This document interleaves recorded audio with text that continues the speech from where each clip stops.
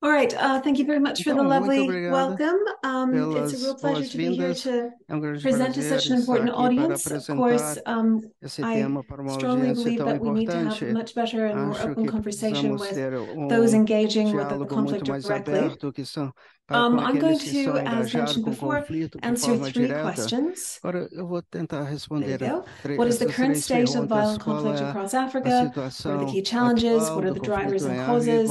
And what are the key strategic security implications?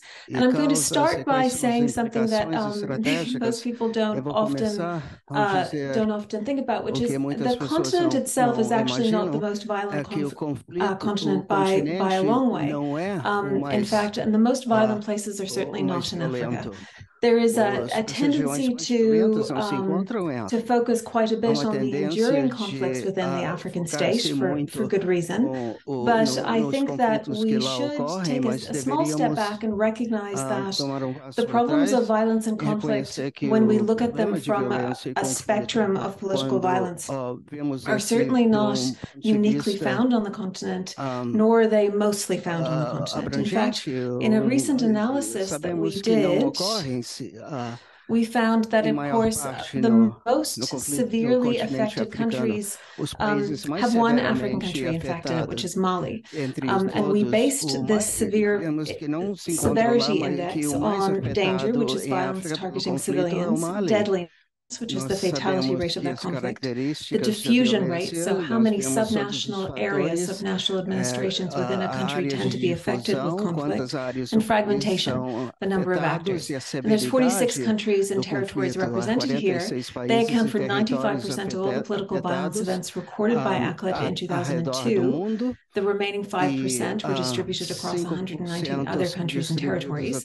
So approximately 30% of all violent conflict took place in those countries that have extreme severity, four out of four, and 53% in the areas of high conflict severity levels, three out of four, of course, which Burkina Faso, Congo, Nigeria, and Somalia, South Sudan are included there. So I really do want to, to emphasize that while the while the issues with political violence across African states are prolific, it's not uniquely so.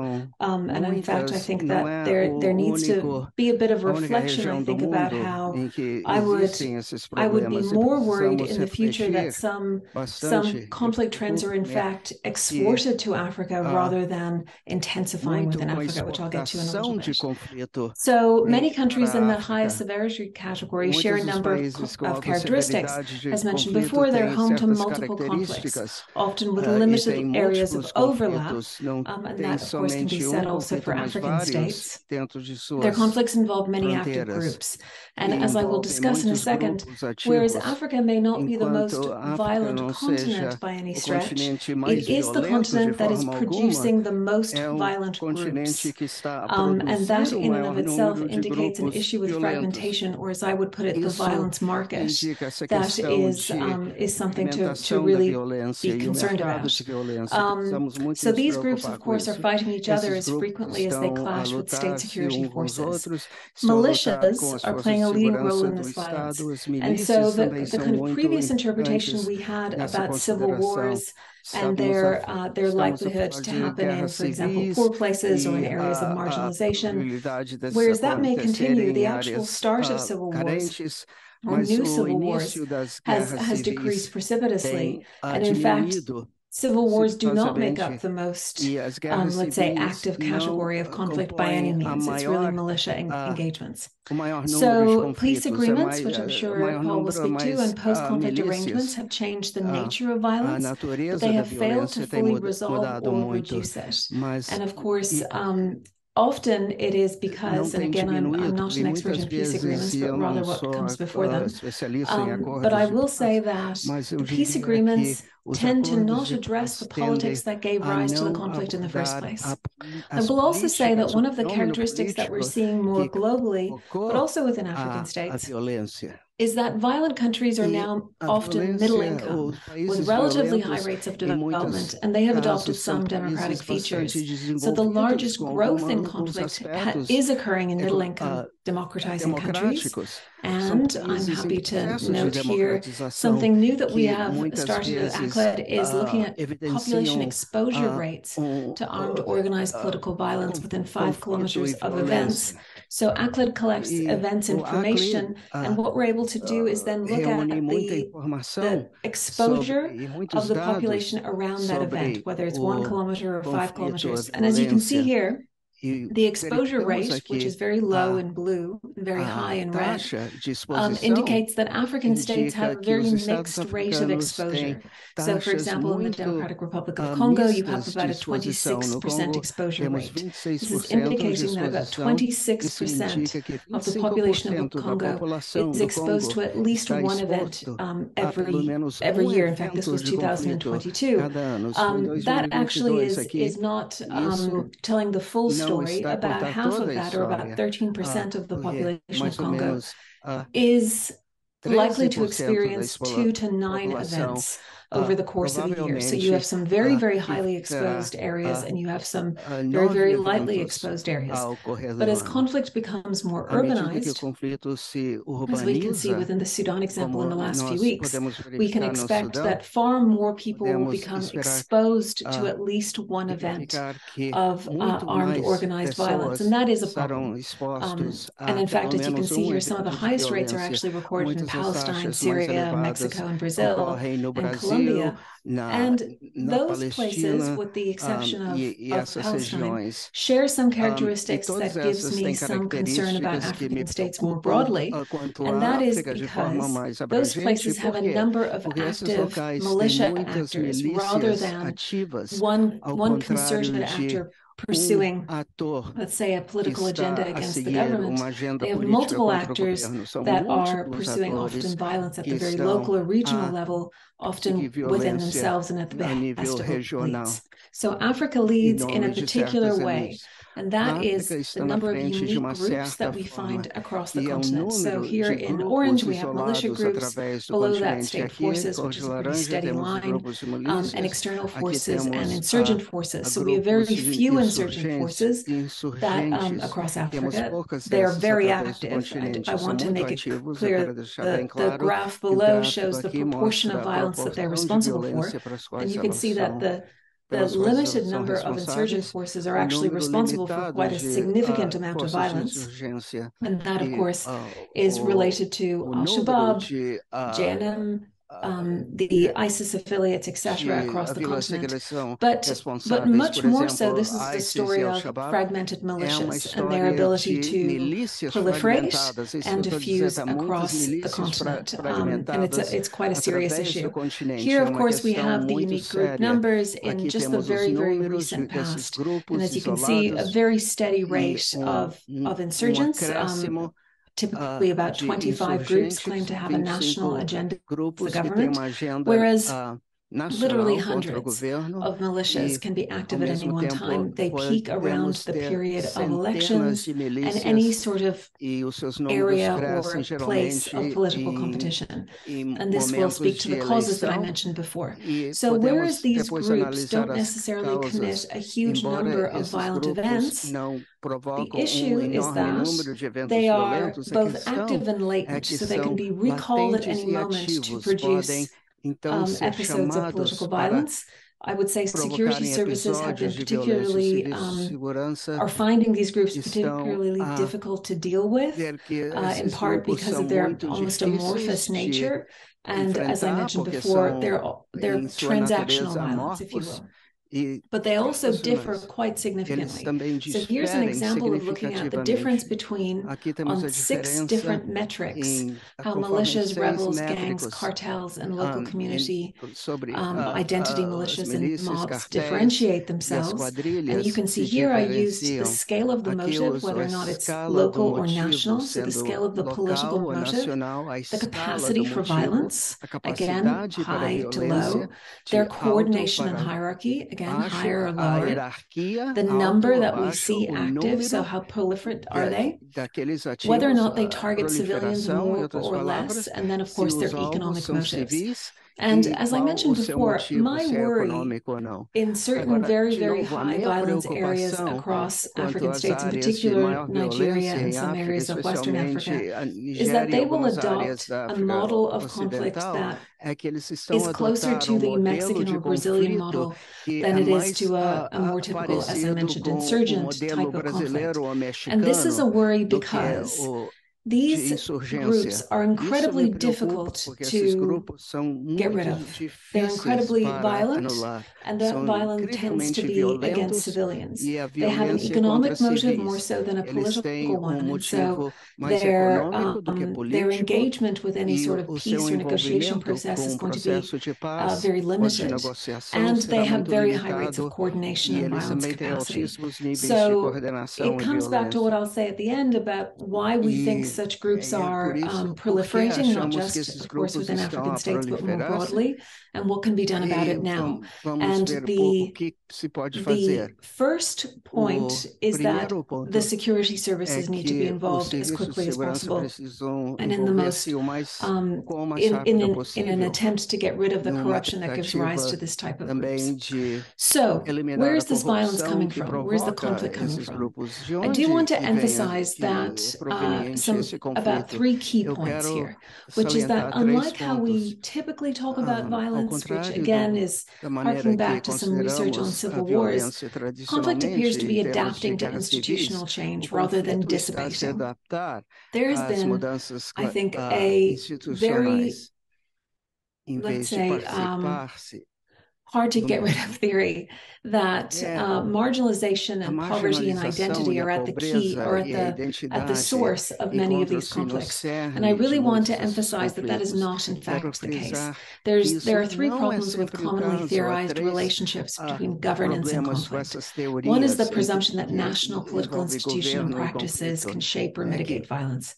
In fact, Countries with outwardly similar institutional forms and capacities can exhibit significant differences in their political violence, in African countries characterized by regime longevity or single party dominance or extensive patronage systems and recurrent elections, such as those in Zimbabwe, Uganda, and Sudan, there's vastly different levels and forms of political violence. The likelihood of experiencing a civil war, a long running militia conflict, or violent unrest is far more closely linked to the domestic political fault lines of these countries. And that's a really important point that I think people often miss, which that domestic politics causes conflict. That's it. Domestic politics. so if you are aware of the domestic politics within your state and you are aware of who might benefit from using violence to forward their own aims, that's where you should be looking. Second, a, a, multiplicity of violence occurs within individual countries, and this includes those countries where typical governance and political exclusion explanations suggest a civil war should emerge, but because of the changes that have happened within institutions, we often find that militias come about right? So what we have effectively is several types of co-occurring conflict across states, making discussions about power distributions and conflicts very difficult to fit to the current situation. Again, Sudan is a really good example. You have effectively two armies fighting against each other. These people had significant power. This was not an issue about marginalization or exclusion, but rather it's a competition for power. And once we start thinking of things as a competition, competition for power, many of these conflicts make a lot more sense. So, as I mentioned before, domestic politics matter because countries have a geography of power and a hierarchy of power, many elites and many opponents. Regimes are highly inclusive of many different ethno-political groups and regions, so the issue is not over access to power from the outside, but it's about competition for power on the inside. Right? Conflict is a competition for power amongst the powerful. It is rarely, if ever, due to any shifts in ideology. So it's about interests. And we think of them about interests. Again, many of these decisions to use conflict or benefits from conflict becomes a lot clearer, and we can understand why, for example, an elite would hire a militia to hold or contest an appointment, uh, much more so than an ethnic group or an ethno-regional group seeking to have better representation. So this is part of an ongoing issue where I think subnational elites and subnational politics have not received enough attention. But these relationships and their character underlie the frequent variations in power, conflict, and development we see across African states. So, I do want to mention some things about power that I think have conflito. Eu quero recently falar um come into poder, into into clear view for us on the research side, which is nós, power is ah, far more likely to be formally assigned than informally ah, manufactured. So we need to think of power as appointments. And with that comes poder the other powers to appoint, patronage, ah, state rents, etc. So authority at the senior formal level, like the cabinet, is a inclusive. It can be unbalanced, but it is generally inclusive. inclusivo. So why is it unbalanced? It's que, que because elite influence on the executive is demonstrated through this imbalance. However, large groups, powerful agendas, and agents are not necessarily more represented. In fact, smaller groups, those that are easier to manipulate, are typically more overrepresented in muitas cabinets. And this type of appointment is proliferated at all scales of many African states. So, as I mentioned before. Rather than think about conflict as a, em vez de as a response to misrepresentation or exclusion, what we find in our research on o que nós African cabinets and African appointments is that most governments are highly inclusive. They may, as I mentioned, have a malapportioned cabinet, which means maybe some groups have more power than they normally would based on demographic patterns. But across African states, and in fact, here's the examples. Here's the first uh, ah, cut. o Across the representation measures for 37 African states, we find very high rates of ex- 47 inclusion. About 75% of all muita ethno-regional groups are included, both ethnic, political, ah, and, uh, and regional groups. Um, malapportionment is about Um 20%, which means that about 20% of um the number of seat positions tends to be skewed. But what we have effectively é, is an a má inclusive political system. So it's not um inclusion that, that is at the heart of some of these measures. But I will say that militias have entirely proliferated since o que eu we quero start, dizer é que started to see a highly inclusive system. And the reason is is that if you expand the government and you expand the number of positions available, what you get is competition for those se tem é positions. And that's an important and, and significant outcome here. So what we have, what I think we have here is that we have certain political environments that give rise to either high rates of or low rates of political violence, high rates or low rates of state violence, and and let's just say that the market for non-state armed groups tends to be either very active or less active. So we have monopolies, whereas Repressive violence with high rates of state-initiated violence, we have oligopolies where you basically have a high number of distinct groups fighting each other and the regime.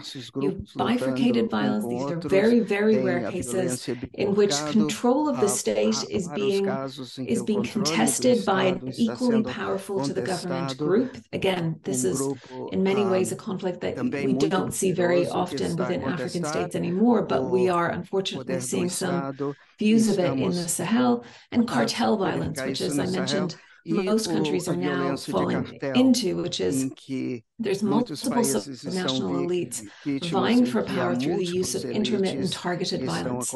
And police are often much more involved in that type of violence than security forces. But as we see in the areas of northern Nigeria, it's becoming a much bigger problem to control these militias once they get a hold of territory, even that they're not necessarily governing, but they are proliferating it. And here's an example, I can go over this um if it's necessary, of the types of state insurgent militia and rioting and protesting that we're seeing presently across states. What, of course, we're looking for is a high rate of state force violence rather than insurgent rebel or militia violence. And we see that in, in fewer cases than we might want. What, of course, I think we all want is a low rate of all violence, but that violence that does in, that does happen have a very high rate of state ah, involvement. o que verificamos Okay, so let's put this all together in the last minute. uma alta taxa de Regimes have more control than we think, and they will often choose alignment, ah, which is engagement with elites ah, um subnationally over control. And this actually elites creates competitive violence. I'm happy to chat about that a bit more. A state's topography of power can and does change, and with that, so does the violent geography. So we've seen that over the last violência está a 10 to 20 years, the violence geography has shifted significantly. ah, Militias are dos últimos 10 proliferating and threats will continue to multiply. And I mentioned this before, but I wanted to go here. What can be done? Aqui, o que So, violence evolves and adapts, and we are entering a more violent and fragmented world. But I really want to emphasize that the solution for this violence is not more solução para a development, in several ways, it is it, it is entirely separate from the developments that should happen around development and democracy. There's two central issues that need Há far more attention, which is the link between corruption and conflict. Again, these elites with zero-sum competition and corruption are able to hire these militias to create these uh, to create violence, and then of course these militias can graduate up empregar essas milícias into more significant threats to the states, and then the business of violence or the market for violence that we see emerge within African states, which is that it's far more lucrative to engage ah, in intermittent violence than it is to not ponto de vista engage in violence. Econômico And that requires, I would say, a very, very Ah, significant look at the subnational level and the types of militias that are being created locally, rather than, u- um, or in addition to worrying about the national level threats, which are, are happening at an increasingly rare rate. So that's it for me. Uh, My 20 minutes is up. And so I will stop. I appreciate your attention and I'm sorry Muito for the obrigado earlier e, problems. desculpa o problema que deu no início.